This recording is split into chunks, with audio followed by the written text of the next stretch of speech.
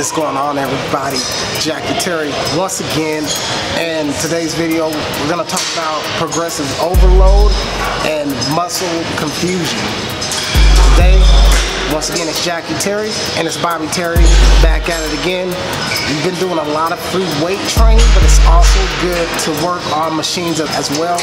When you're working on machines, you don't have to use any balancing or stability or assisting muscles because the machines are already balance the weight for you. So these are the perfect exercise for strength training because now all you're doing is just depending on strength because the machines already balance the weight for you which doing machines, coinciding machine exercises in your workouts, highly beneficial because when you do do the free weights now, you will be a lot stronger.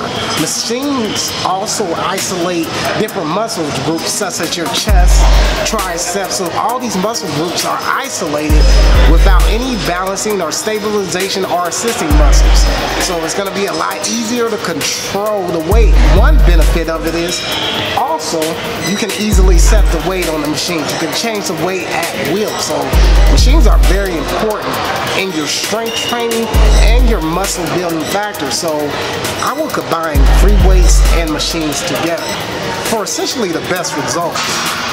Once again, if you want to train with Jackie Terry, hit me up on my messenger.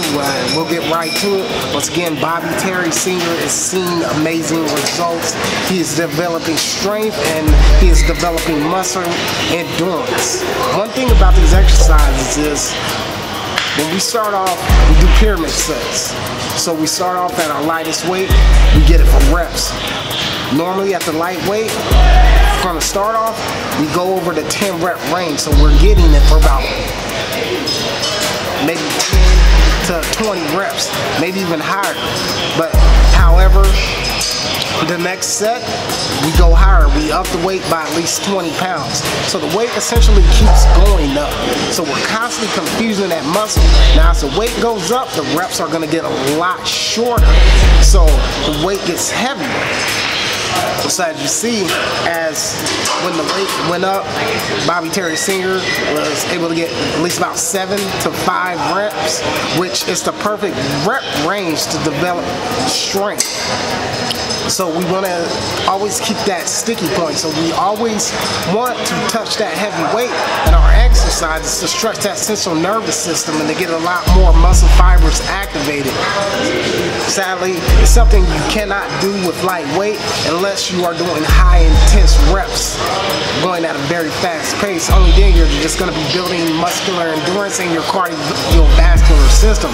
So we always want to touch on a heavy set, we always want to get that heavy set in because the more you can touch on that heavy weight, the bigger and stronger the muscle is going to grow back as you've seen in my other workout videos before. We become a lot stronger when we come back to the gym. This is a fact. See, once again, uh, we are applying the rules of pyramid sets and progressive overload to our workouts. So we start off light and then we immediately go heavy. After the heavy set is done, and I can see Bobby Simmons here can't get any more reps in during the heavy set, we go light, cut the weight down by at least 10 or 20 pounds each time. So we start off with a pyramid set, then we slowly go down to a reverse pyramid set until we get to lighter weight. So we go light to heavyweight. Then for the reverse pyramid set, we go heavy to lightweight until we get down to the final rep.